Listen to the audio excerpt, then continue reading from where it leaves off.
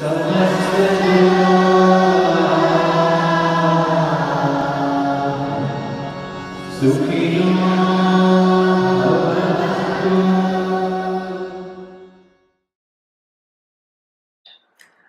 my name is Dr. Hemant Bhargav. I am uh, a modern medicine doctor.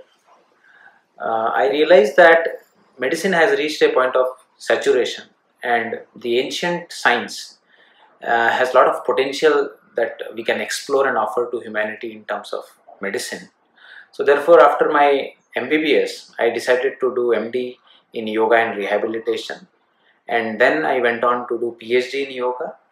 Uh, I developed a lot of interest in uh, yoga research where basically uh, I wanted to explore the ancient knowledge and put it into the scientific methodology and then take the best out of it using the best of the east and the best of the west and then come up with the uh, idea of integrative medicine and that is what I am doing here. I am working as senior scientific officer at NIMHANS uh, and uh, basically the nature of my work involves uh, applying yoga therapy to patients suffering from various neuropsychiatric disorders and testing the efficacy of yoga as an adjuvant or as a mainline therapy for people suffering from anxiety, depression, stress, uh, even some seriously mentally ill patients uh, suffering from chronic schizophrenia or those having neurological problems like migraine or Parkinson's disease. Can you speak uh, specifically about any of the studies that you've done uh, with with mantra or nada yoga and their effects? Yes, so we have done a study here at Nimhans uh, where we assess the effect of chanting the sound Om on the blood flow of the brain using functional magnetic resonance imaging. So in this study, we took uh, 10 healthy volunteers and then uh, we trained them in chanting the sound Om uh, so that there is a standard way of chanting the Om when they are under the fMRI scanner. Uh, so the way they chanted was that the O and Ma part should be in the ratio of 1 is to 2 and as a control we took the sound S as the control. So the same subjects were in the scanner and then uh, they chanted the Om for 10 cycles, then they chanted the sound for 10 cycles and then they were at rest. Same sequence repeated for 10 times. And then we analyzed the data and what we observed was that when the subjects chanted Om, there was deactivation of the limbic system of the brain, uh, especially the amygdala. We know that amygdala is the primal area of the brain uh, which is associated with uh, the emotions of fear, aggression, negative emotions. So the in yogic language you can say the animal instincts that arise in a human being. So they amygdala can be considered as a center for that. So after chanting the sound Om, the there was a deactivation of amygdala. It means it received lesser blood flow.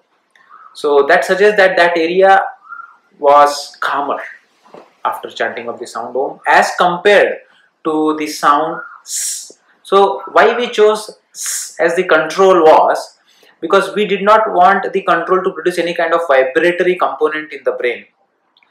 Uh, secondly, we also wanted to match the breathing rate. So therefore, when they, they did the control intervention, there was the breathing rate was matched and there was no vibratory component. So therefore this research gave us some preliminary results that uh, chanting Om actually has some effects on the deeper brain areas. And uh, then now we are doing a research where uh, we are uh, comparing the sound Om with only the last part of Om, the humming sound mm, and then the chanting. The reason why we are doing this research is whenever we presented this research to different communities in different countries, one peculiar question was asked again and again that if a person doesn't want to chant Om, say because of his socio-cultural background, is there any alternative? So the the hypothesis was that the effect of the Om chanting on the brain is probably because of its vibratory component. Especially, there is a vagus nerve, it is the ninth cranial nerve, and there is a auricular branch of that nerve which goes to the ear. So, if you chant such sounds which produce vibration in this area, then probably the vagus nerve, the auricular branch gets stimulated, and through that it affects the deeper brain areas. So, if that is the mechanism, then through chanting the sound mm, also there may be similar effect. Then humming sound can become an alternative for chanting om. So, this is what we are exploring right now. We have already taken the data on 8 subjects. We want to do it on 12 more subjects, 20 subjects. When the data is finished, we'll do the analysis and we will see what happens. That's fantastic. Yeah. We did uh, another research uh, on people suffering from generalized anxiety disorder. You know, the people who suffer from generalized anxiety, they have a free floating kind of anxiety. They remain anxious over trivial issues throughout the day so what we did was uh, uh, we used a particular technique. Uh, there has been publication using the, this technique. It is known as mind sound resonance technique. Basically, the technique involves initial rounds of chanting A, U, Ma, and then A, U, Ma together, followed by chanting of Mahamrityunjay mantra.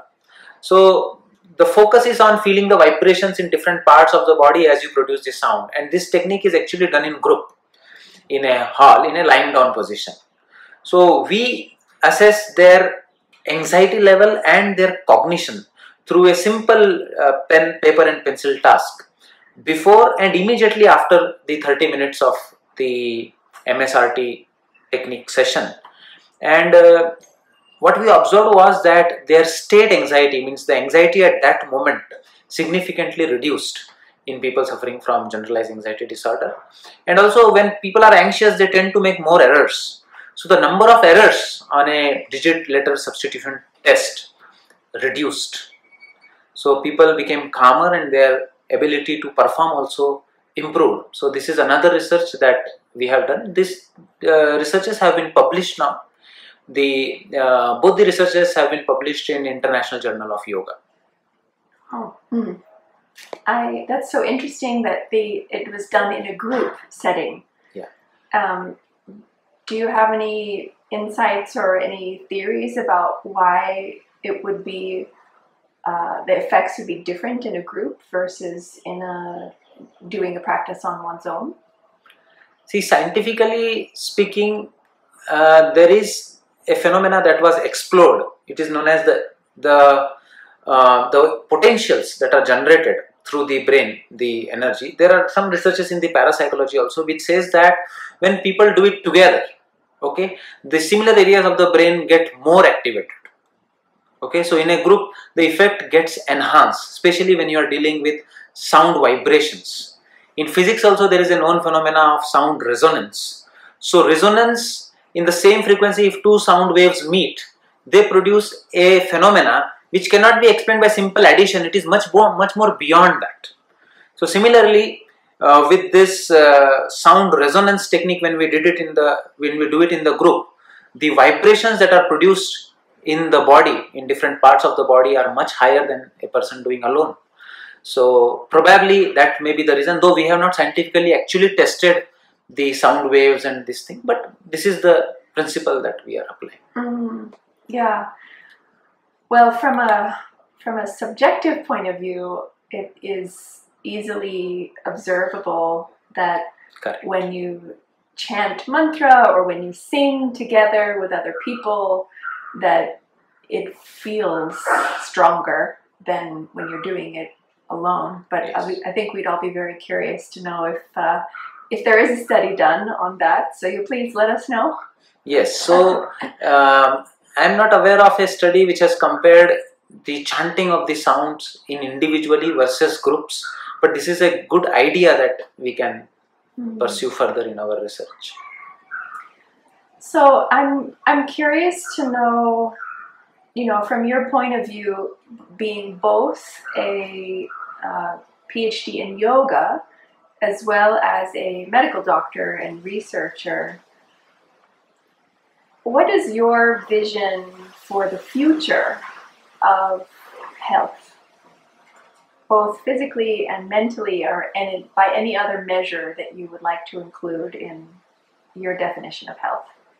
So, thank you for this uh, very important question. Health, as WHO says, physical, mental, and social dimensions are there, but now spiritual dimension has also been added. And this dimension, I feel, is a very fundamental and important dimension. Because health does not end at a place where there is absence of disease. Because even if there is absence of disease there is a long way that a human evolution should go ahead. So from the disease to health and from health to positive health. So that journey of wellness uh, spirituality plays a very very important role. So now as i see the health in future i see that uh, in the disease area there will be integration of the modern science with the ancient sciences together. Already so many centers are opening up over the globe. So we will have the best of the knowledge that is available in yogic dimension ayurveda even traditional chinese medicine acupuncture whatever that humanity has best to offer would be taken. Tibetan medicine is also good.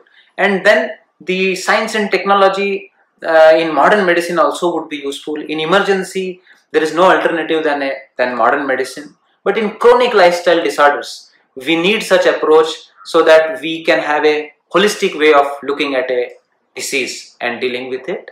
So I see that in future, integrative medicine will become a forefront area in medicine. And I also see that countries will, will put more and more emphasis on prevention. So there will be promotion of health and prevention of mental and physical disorders by promoting wellness through uh, this yogic kind of lifestyle promotion that we are doing through Nada Yoga and all these kind of principles. So I really uh, uh, thank for giving me this opportunity and I also uh, wish my good luck to this wonderful initiative that, that you are doing. Thank you so much. Shine.